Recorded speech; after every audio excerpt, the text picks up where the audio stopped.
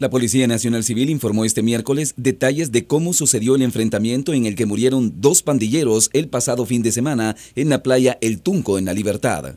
Inicialmente se dijo que turistas habían disparado en contra de los pandilleros al intentar ser asaltados, pero las autoridades aclararon que fueron agentes policiales en su día libre los que se enfrentaron a los delincuentes. Al llegar a ese lugar se encuentra a tres pandilleros donde la privan de libertad pide auxilio. Al escuchar las voces de auxilio, los dos agentes acuden al lugar y se encuentran con los tres pandilleros armados.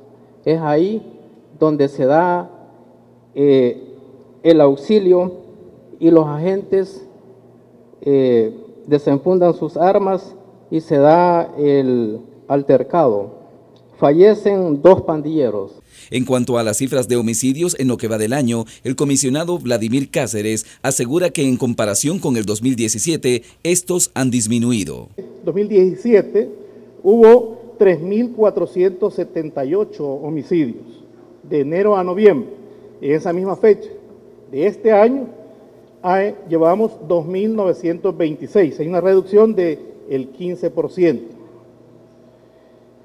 Por mes, en el mes de noviembre del año pasado, hubo 138 homicidios. Llevamos a la fecha 112 homicidios, un 18% menos. Feminicidios.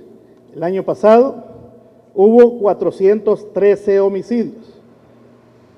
Este año llevamos 341 feminicidios un 17% menos. Finalmente, la policía asegura que reforzará la seguridad en la zona costera con el objetivo que los turistas puedan sentirse protegidos en sus paseos a las playas. Con imágenes y reportes de Héctor Burgos, este es un informe de la.